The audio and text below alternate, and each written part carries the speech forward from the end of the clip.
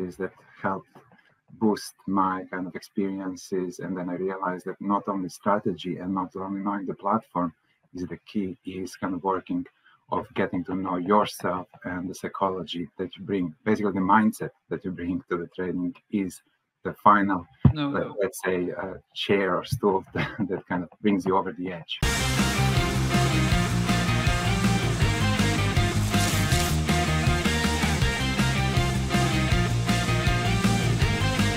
To another funded trader of Trade Pool. Today, another funded trader, Roko, is with me. How are you doing, buddy? Doing great. Thank you. Thank you for having me here. Thanks for jumping to this interview. Congrats, obviously, on passing the evaluation.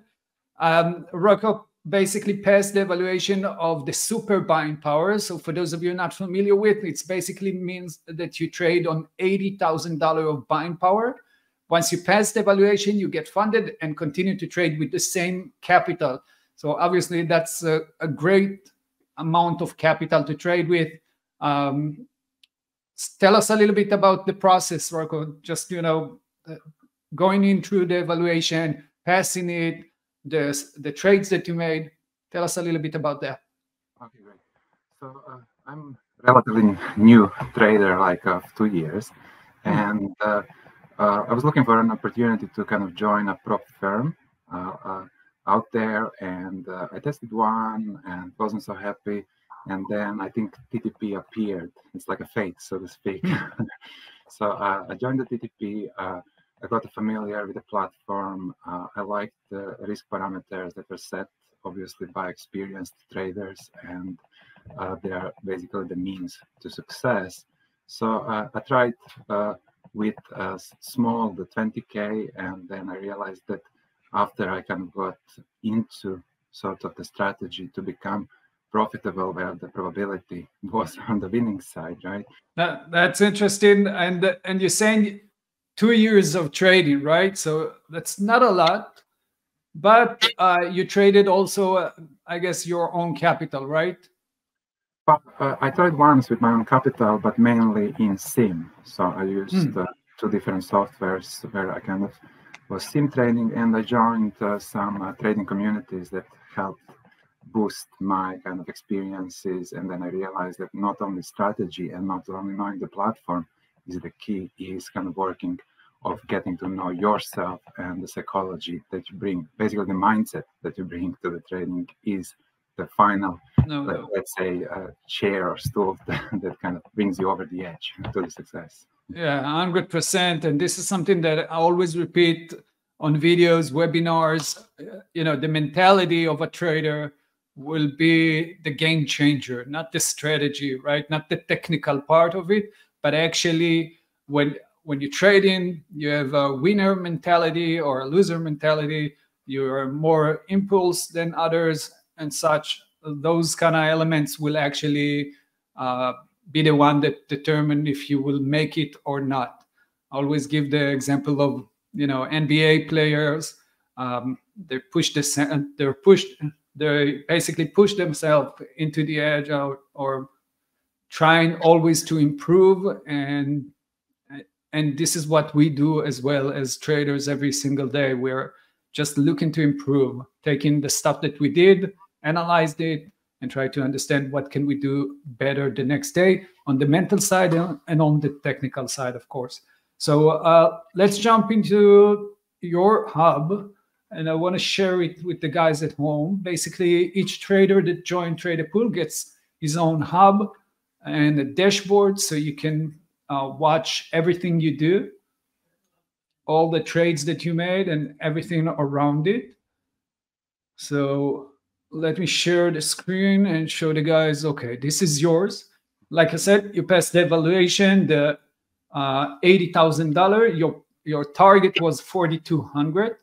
Interesting to see the chart. Very interesting. We'll talk about it in a second because you had like a flat beginning, right? A little bit of a drawdown, and then you started to gain some profit. So that was great. Uh, but let's talk a little bit about before that. Let's talk about your trades in general or your positions that you made.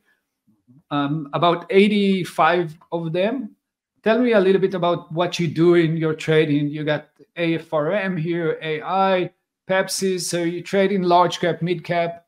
What is it that you're looking for? How do you find the right asset to trade on the same day? Yeah, so, so my trading plan actually starts before the market opens. I'm looking for the stocks in play that day, uh, which are usually the stocks that had earnings uh, the day before, after the close, or before the open. Uh, then I look at their pre-market activity. I want to see like a smooth, so to speak, activity with high volume before the open, and yeah. then uh, then when it open, uh, and then actually I go to the daily chart to uh, mark the support and resistance level for that particular stock. Uh, I have my two top picks that I monitor after the open.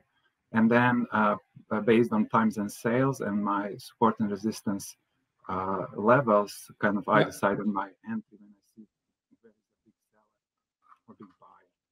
With a big seller, I go to short. With a big buyer, I go to long.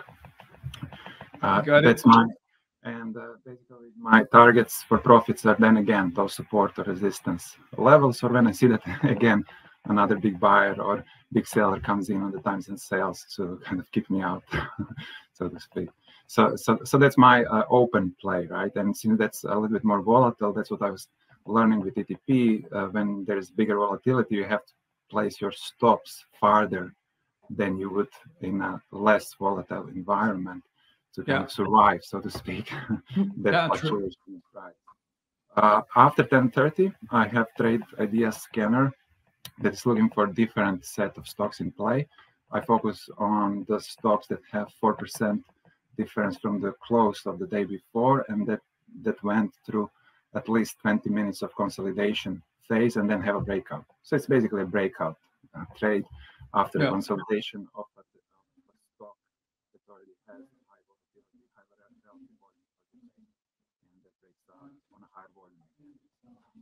these are the two strategies that I worked out. And then by 1 p.m., I'm basically done, usually. Okay. So you mostly trade the, the first uh, two hours or so? Um, yeah, and, and I uh, always take a break between the morning and the second one just to reset my mindset for a slower environment. so, uh, so, obviously that's super important to take that break to understand that uh, your mind cannot stay focused like 100% of the time for for like two or three hours. So definitely this is a good tip for everyone. You know i see traders trading six and a half hours right for the whole trading day. Uh, but you know you cannot really stay focused completely for six and a half hours. In most cases you know you got an hour that you can keep your focus on. So you got to take those tiny breaks. Uh, super important you know every hour or so just take 10 minutes even go do some walking jump you know pump your blood again get your coffee and uh, jump in uh, jump in again yeah. So let's talk about two things that that are amazing to me. One we'll start with this uh, like i said you had some drawdowns but then at one point you find your rhythm and started to make those gains let's talk a little bit about that. What happened in the beginning that didn't happen um, afterwards, and what's the difference between the the drawdowns or the flat to the uh, time that you actually started to see some profits? I followed the, the rule: let the winners run, and losers will be losers anyway. so when the jump is basically I let the winners run because I realized uh, with my post analysis that I'm basically stopping out at one hour or one and a half hour instead of four or five hours that was the best exit, right? Mm. So I kind of just, uh, so to speak, was sitting on my hands longer.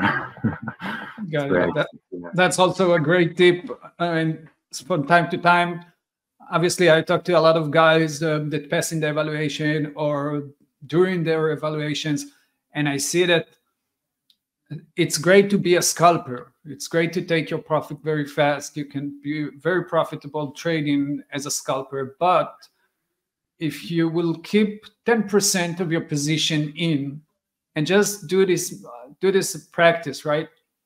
Test that. Keep your 10% position in, let it ride, let it run, and see where it goes. In most cases, you will see that it actually can make you lots more profit. And then once you understand that, um, like on the mental level, you will start living a little bit longer 15%, 20%, instead of just uh, taking everything out very quickly. So let your profit run. That's a that's a great one, and uh, you just need to test it. If you're at home watching it right now and just getting out of the trade immediately after a few minutes, keep 10%, 5% inside, let it run, and see what happens.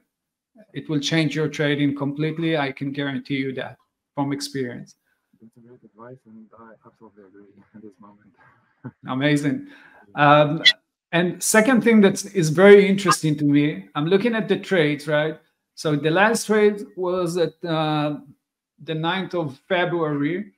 Your first trade, 5th of February. How many evaluation before that you had? Uh, I have uh, several, but but I went through kind of I tried different kind of sizes. So basically, uh, like I went 160, 20, and 80. So kind of and 80 is, I guess, from my psychology, my personality, the best. yeah. Uh, with the with the risk parameters and uh, the size positions that I'm taking. So so technically, you passed the evaluation within four days. That that's incredible.